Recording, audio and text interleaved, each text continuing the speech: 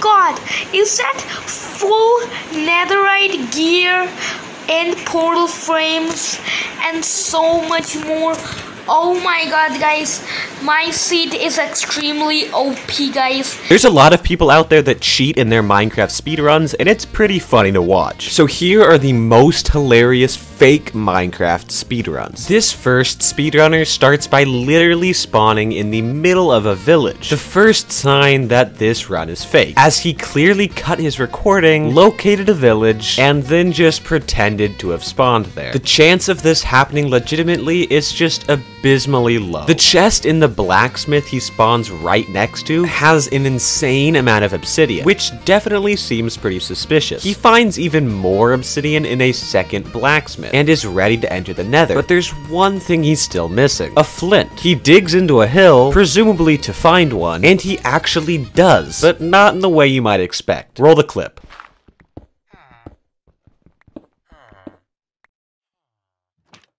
That's right, this guy placed a flint underground via an item frame. Something that he may have gotten away with if it wasn't for the absurd amount of lag he experiences throughout the whole run. That caused the item frame to break right in front of our own eyes. He enters the nether and starts walking in a very specific direction. He must be looking for a fortress. Wait, what? why is he building a portal?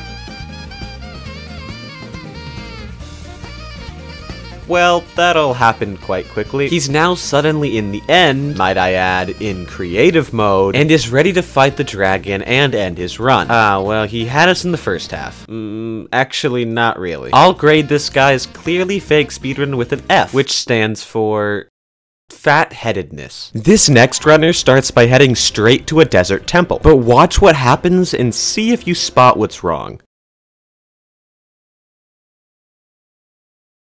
The runner cut his video as he was building up and out of the temple, and then resumed it, while still building up, but in a different temple. This becomes very clear once you notice that the area surrounding him once he exits the temple is completely different than the area surrounding him when he entered. He then heads right to a nearby village, evidently the reason that he did this trick with the temple. The runner does the same thing again while in the nether, by digging slightly into a wall near the fortress he had just looted, and then turning around to suddenly be in a completely different different location, next to his portal so that he can return to the overworld. You would have caught on to this dude's cheating even if you were only barely paying attention, so I'll give him a D for dang dude, you really suck. This next run was definitely unexpected to say the least. It starts off pretty normal, with this guy looting a village near his spawn, which actually seems legitimate, unlike literally every other fake speedrun. But things start to get crazy when he enters a desert temple and finds guns?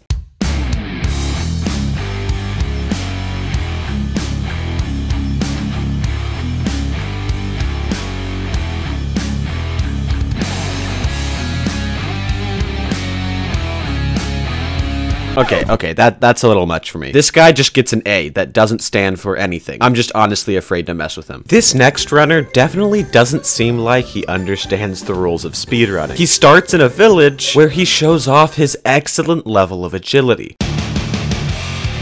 After wiping out an entire population of animals, he makes a very interesting decision. He announces that he's going to the bathroom and shuts the video off, and then turns it back on and he's suddenly in the stronghold. What a very skilled and talented speedrunner. E. This next speedrunner starts by getting some wood and heading straight to a village, but things start to get sketchy when he opens a chest, where he finds items that normally only spawn in blacksmith chests, like an iron chest plate and ingots. Also notice that when he takes the items from the chest, he doesn't get an achievement from them, showing that he has obtained them before, which tells us that he placed these items here prior to the run. Next, this guy heads to a house right outside of the main village, something that most runners probably wouldn't do, as going to this house would waste a lot of time, considering these types of houses don't spawn with chests. But there's actually a chest in this one, obviously one placed by him, and it's filled with, no, just just no. In the village's temple building is a brewing stand, just like normal. But in the brewing stand is two healing potions, which come on, dude. Next, he heads to a second village, this one in a desert. But he clearly knew where it was beforehand because there's no way he could have seen it, considering how it's not only pretty far, but also on the other side of a hill. This village has just as much obviously fake loot, even summon a blast furnace, which is a decision from the speedrunner that I just cannot fathom. His next destination is a nearby ruined portal, which...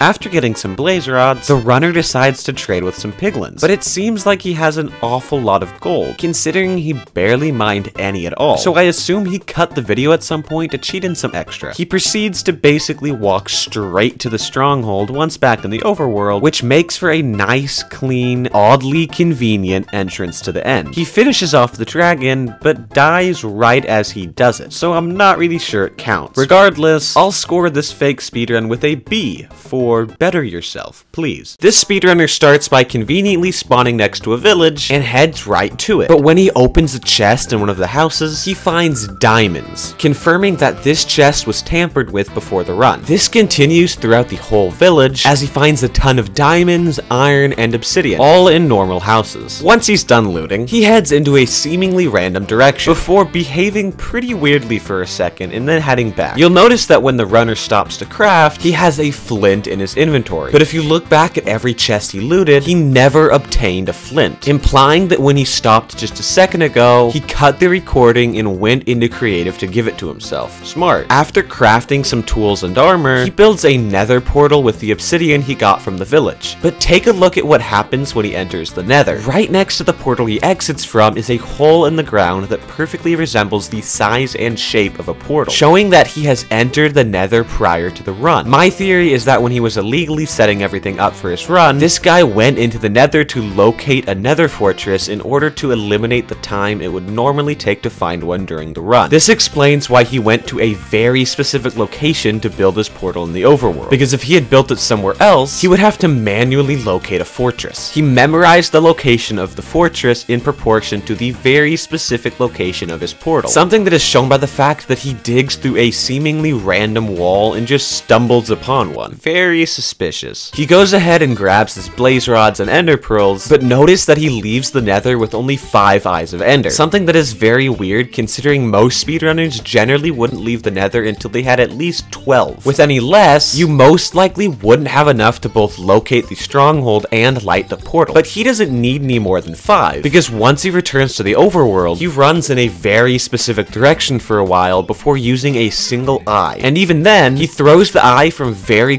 close to where the stronghold ends up being, leading me to believe that he knew where it was beforehand, and just didn't remember to throw an eye to make it look real until he was basically already there. The runner enters the stronghold and locates the portal, which is conveniently almost completely lit. Another example of how he really never needed that many Eyes of Ender at all. He enters the end and continues to defeat the dragon, something that all things considered seems pretty legit to me. But all in all, this guy's run really wasn't very convincing. I'll give this fake speedrun a C for kinda sucks. If you enjoyed the video, consider subscribing and following my Twitter.